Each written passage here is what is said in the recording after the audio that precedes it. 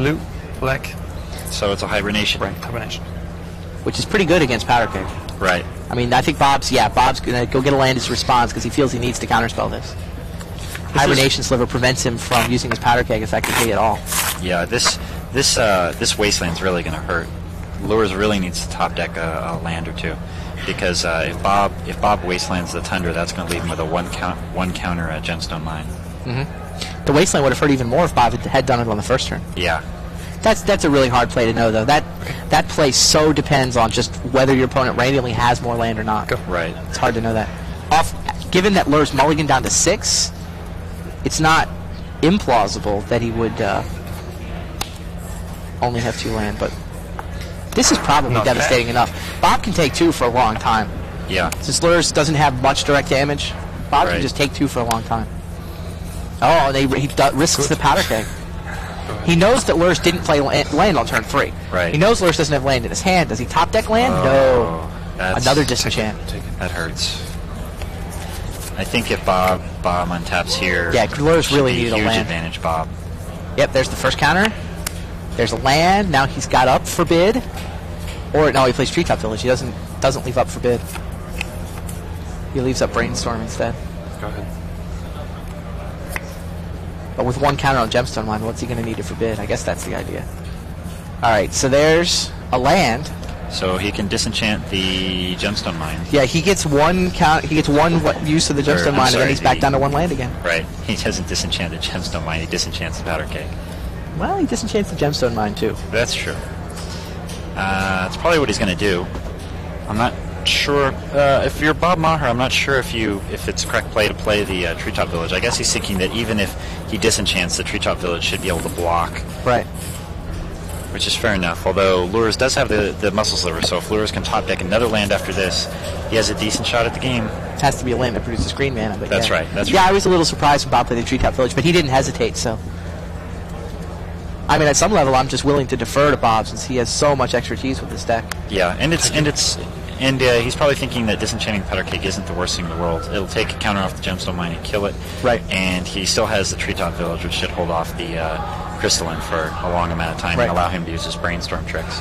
In addition, he does have up two blue, so he's bluffing Counterspell. Right. I mean, Lührs could easily just try to play around Counterspell and say done, and actually open up Go. Forbid. Which and that's did. what he does. Brainstorm. Well, now he's not. He can't bluff counterspell anymore. Sure. So, be interesting to see if he disenchants it right away. He sh- if he's going to disenchant, he should do it as a response, so Bob doesn't have a, have a f the option to Force of Will. So Bob doesn't isn't able to find a Force of Will. So looks like Christian's rethinking his position. Right now that it's no longer a counterspell, there's no longer counterspell mana up. I think he's going to disenchant. I believe What? he is, and I think it's the right play. Yeah. Blue.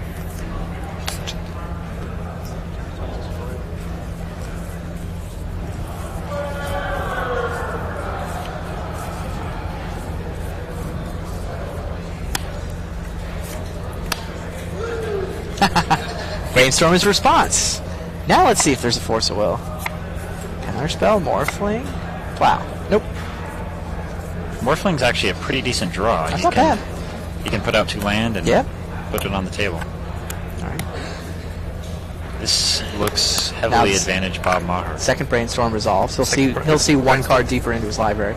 It's land, land, and land. That's fine. He's perfectly content to draw land right now. Yeah, He's got forbid, counterspell, and morphling in his hand.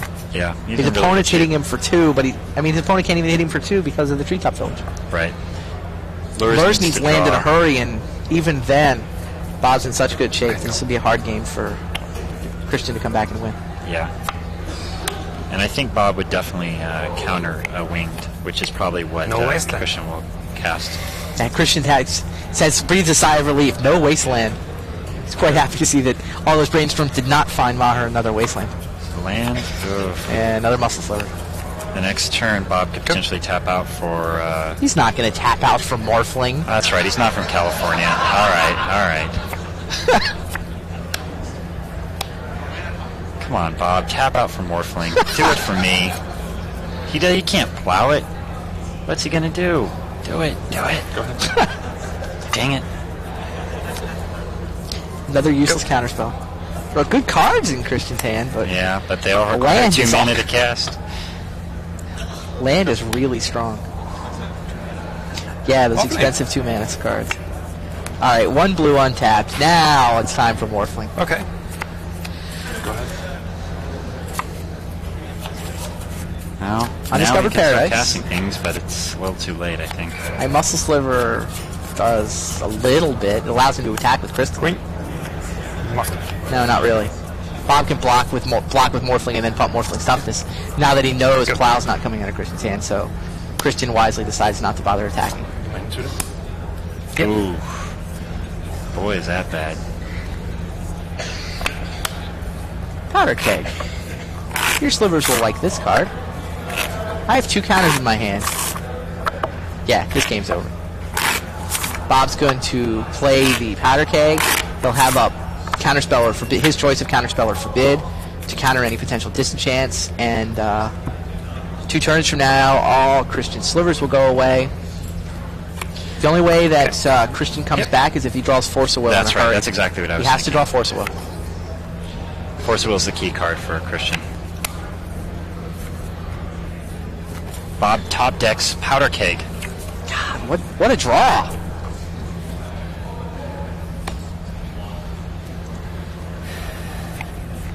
I love knocking on my deck when I know the top card. So many people just forget that you know the No top block. card. Yep.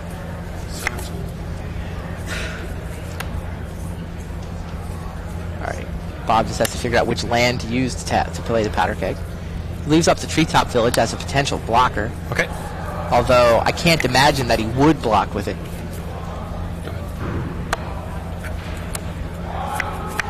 Of course he Will. No, A land. land, which costs a little bit, but should have been useful. can he get four land into play to defend disenchant with a counterspell before all his slivers die? No. No, the Undiscovered came back up to his hand, so he's got to drop three land and only two counters to the uh, to the keg. So yeah, it doesn't work. yeah, unless Bob somehow decides not to counterspell a disenchant. Well, he can attack and see if Bob will activate Treetop Village. That's true. I mean, Bob left the Treetop Village untapped as a potential blocker. He could. But I, I, my theory is that Bob was bluffing, and he's not actually going to block. He's just hoping that the Treetop Village will look scary enough to prevent uh, Christian from attacking it. Right, and there's always the Morphling that could be brought back. Oh yeah, Morphling untaps, doesn't it? That card's really good. I like I like I like what, what Christian does though. He just says, okay, if you got a counter, let's see it. Which is what you have to Yep, do. Like counterspell check comes up. That's the other thing is, it could get scary for Bob to block. I don't. sure. I don't think it's going to affect Yep. his block, but uh, he would effectively be tapping out if he blocked the uh, creature assault. And I think he might as well attack since uh, the stuff's going to die to, to the powder keg anyway. Yeah, that Christian just did a counterspell check, and Bob passed.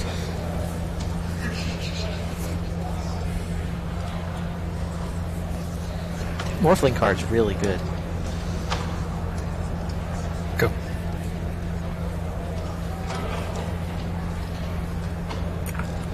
So perhaps, probably what uh, probably what Christian's thinking is to get out the wing sliver and fly everybody over. If he flies everybody over, he could potentially get a little bit more damage in before the powder keg blows everything up. But with forbidden No hand, block. Whatever. Maher's at 14. Yeah, it's it's it's really rough going at this point, especially with the keg. And Morphling flies. Yep, he's in. Sometimes.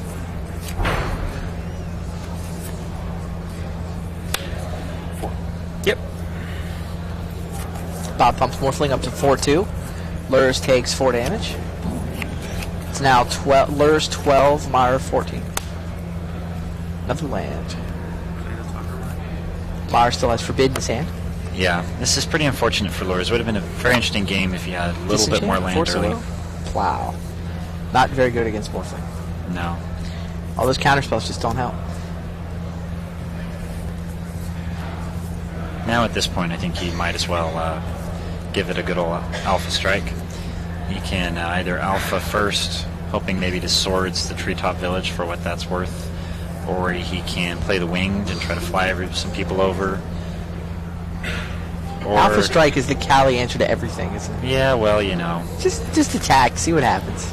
if you're gonna lose, you might as well bring him low. Get some kind of over under on the life totals. Yeah.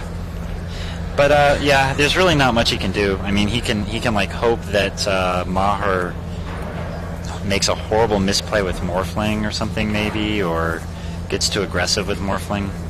But Lührs is really on the three-turn clock with Morphling doing four damage every turn. Yep.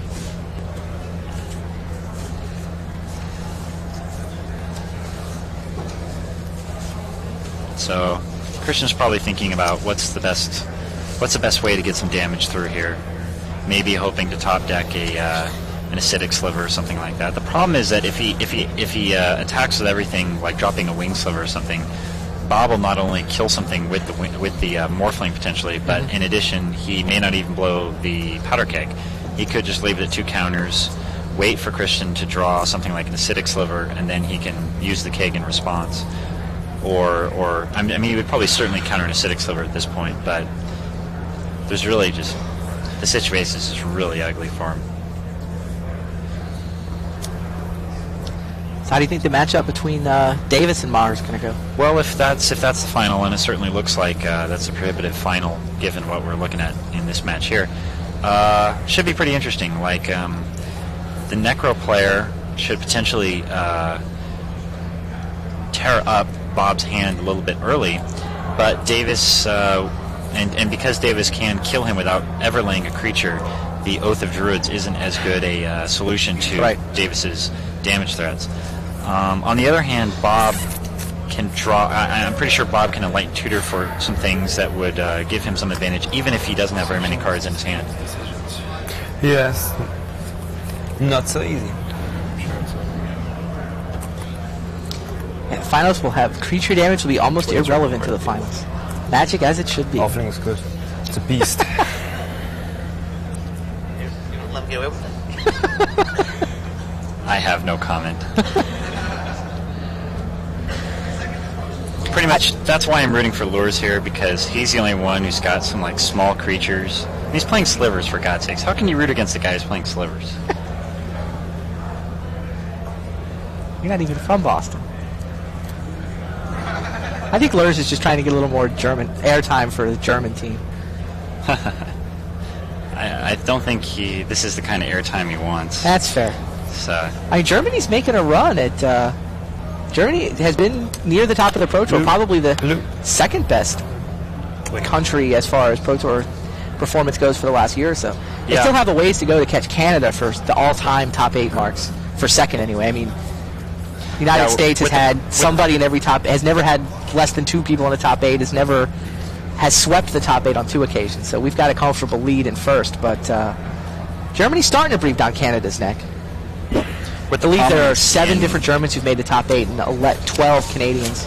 with the prominence in Germany lately, especially with Dirk Baberowski, Kai Budde, there's a lot of very solid players. I mean, even even uh, a lot of players that you wouldn't even have heard of their name a year ago, like a really solid player like Steven Wallkaiser, who I believe Sure. top 16. Yeah, he was playing for top eight in the last round. Yeah, there's a lot of really great players from Germany, and uh, no reason to think that they're not going to be a dominant force as a country this season and seasons to come.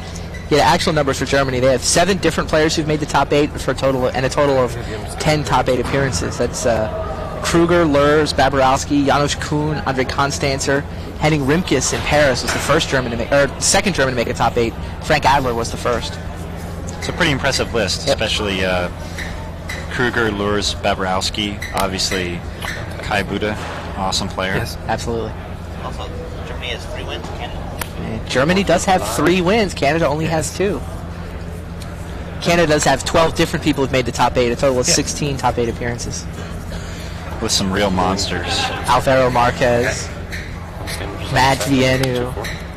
I gotta say, I think tournament organizers around the world have to be celebrating the fact that Matt Vienu snuck into the top 32 in 32nd place, does not need to play qualifiers for LA. Well, this is uh, the Alpha Strike or quasi Alpha Strike that Yeah. I anticipated. Slivers went up to the air with the wing sliver. Right. It's not really going to do much. Just bring Maher down a couple points. Maher pretty much in total control. Yeah, I think Christian's spending a lot of time assuming that Bob does not have a counterspell. I mean, the reason that we all think this game is over is because we know Bob's got Forbidden in his hand. Right. That's that's why we think the game's over. Christian's in a position where he's saying, "All right, assume Bob has no permission, and assume the top of my deck is exactly what I want it to be." And so he's looking for scenarios where he can win, and there probably are some, Right. but they're they're, they're pretty remote, and they probably involve him top decking perfect, perfect, and Bob having nothing. But I mean, we can see Not Bob drawing Shard Phoenix and having Forbid in hand. right.